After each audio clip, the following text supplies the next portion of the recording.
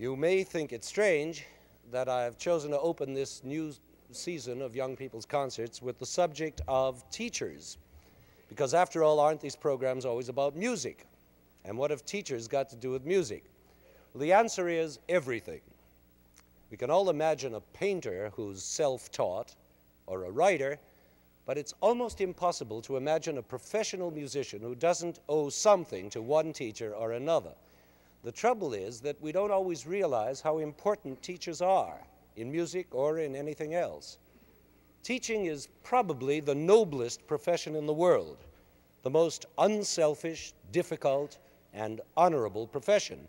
But it's also the most unappreciated, underrated, underpaid, and underpraised profession in the world. And so today we are going to praise teachers.